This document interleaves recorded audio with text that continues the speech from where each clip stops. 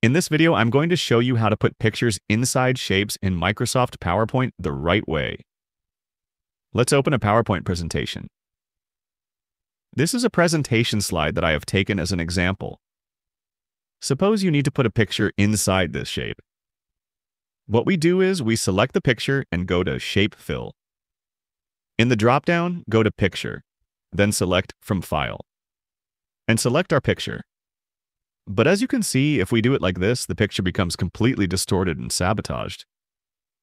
Let's see how we can resolve this. In the title bar, click on Insert.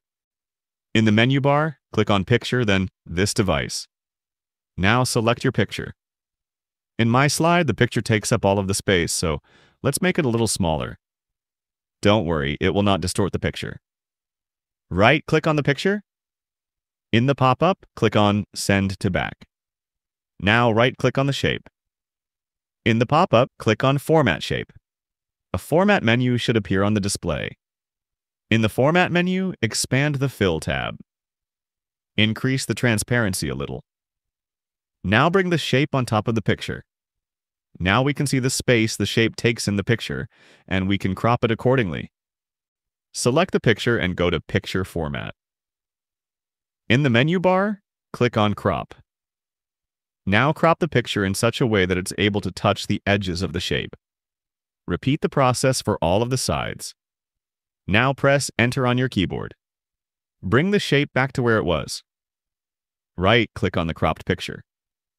In the pop-up, click on Cut. Select the shape and go to the Format Shape menu again. In the Fill tab, select Picture or Texture Fill. From here, click on Clipboard. Here you can see that we have perfectly put a picture inside a shape, and it looks so much more professional than before. You can even change the shape here. In the title bar, click on Shape Format. In the menu bar, click on Edit Shape. In the drop-down, click on Change Shape. Now you can select any of these shapes here. Let's take this one, for example. As you can see, I changed the shape, but the picture layout is still perfect. Feel free to reach out if you encounter any issues during the process. If this video helps you out, please leave a like and subscribe. Comment below if you have any questions. If you need further assistance, consider hiring a professional using the link in this video below.